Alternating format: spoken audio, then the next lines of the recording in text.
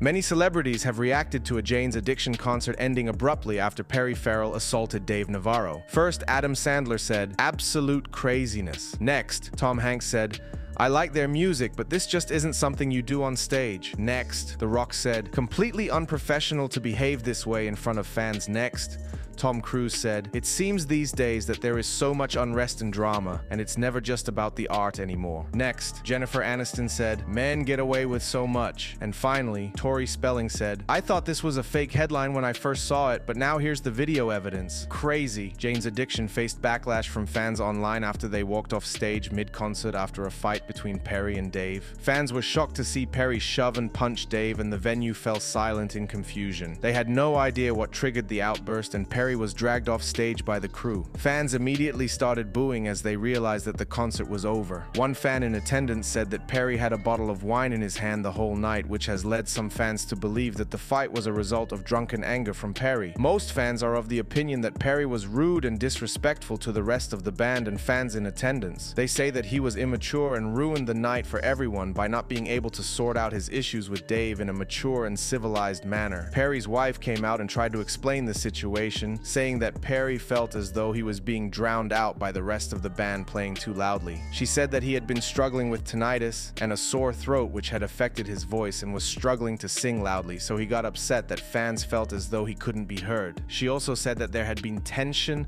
and animosity within the band in recent weeks. Celebrities seem to be just as annoyed at Perry as fans are, and this will certainly damage the band's reputation. One fan said, I'm glad to see so many celebrities speaking out about this. Perry's behavior behavior was completely unacceptable. It's one thing to have disagreements within a band, but resorting to violence on stage is just wrong. The Rock hit the nail on the head. It's unprofessional and disrespectful to the fans. Another fan said, I think people are overreacting. Sure, Perry's outburst was unfortunate, but it's not like he seriously injured anyone. Bands have disagreements all the time and sometimes things get heated.